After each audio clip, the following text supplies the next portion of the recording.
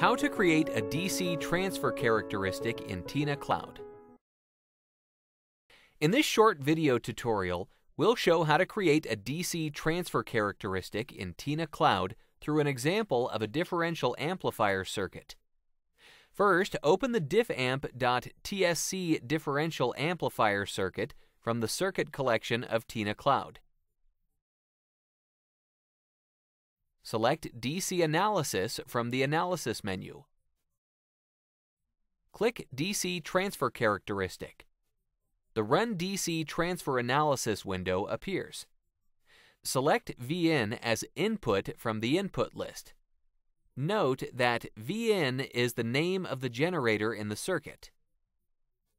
Set the start value and end value of VN if necessary.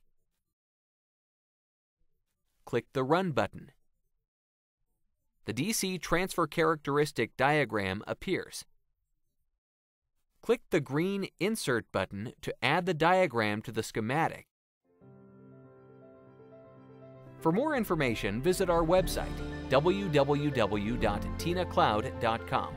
Visit our YouTube channel, www.youtube.com slash user slash Tina Design Suite.